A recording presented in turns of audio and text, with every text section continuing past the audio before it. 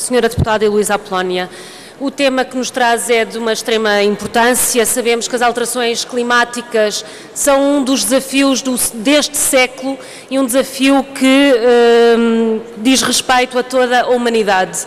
E uma da importância deste desafio é colocar a urgência na decisão e medidas para a ação.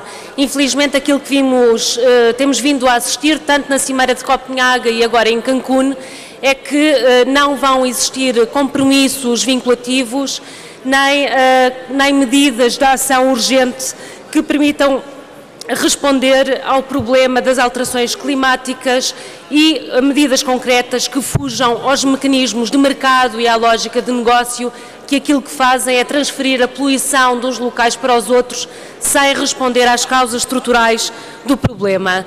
Mas precisamos de ver não só as responsabilidades globais e internacionais, mas também as responsabilidades que o governo português tem ou não em responder a estes compromissos e uh, a forma como se tem comportado nestas cimeiras. Queria ter da senhora deputada uma leitura de como, de como é que vê a atitude que o governo português tem tido ou não nestas negociações e se poderia uh, ser, uh, ir mais à frente no sentido de termos um protocolo, termos medidas que fossem de facto de responsabilidade climática.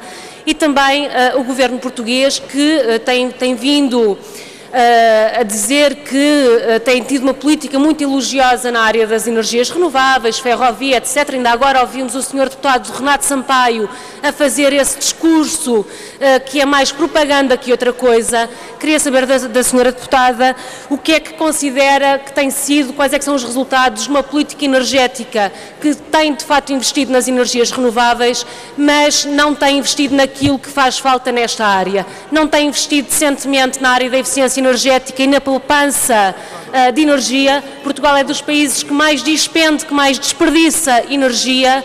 Uh, também na área das renováveis, aquilo que assistimos é a construção de grandes barragens uh, que respondem pouco às dificuldades do país e, se calhar, na área da microgeração, poderíamos ter aqui um campo de manobra com muito mais potencial e muito mais interessante do ponto de vista ambiental e social.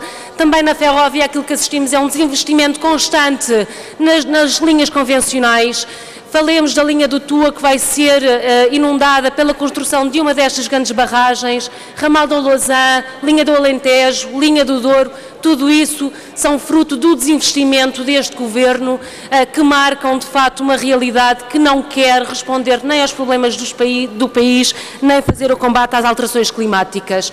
Senhora Deputada, como é que considera que uh, é esta política do Governo português e se há de facto ou não responsabilidade climática por parte do Governo, sabendo separar aquilo que é um discurso uh, de propaganda e de autoelogio perante uh, confrontar com as políticas e as medidas concretas que estão no terreno. Obrigada.